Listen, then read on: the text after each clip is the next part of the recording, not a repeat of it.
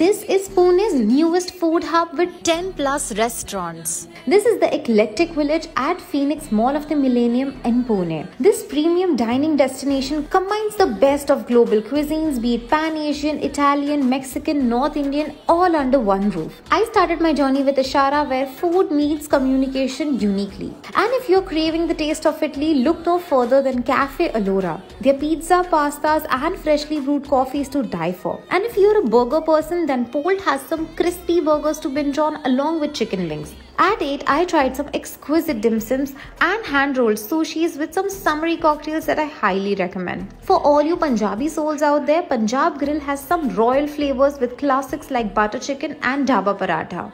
And for all you anime fans, the food at Yumi and its anime theme interiors are perfect for your Insta game. With restaurants like Asia Kitchen, Irish House, and Pizza Express, there's literally something for everyone here. So do visit the Eclectic Village at Phoenix Mall of the Millennium in Pune.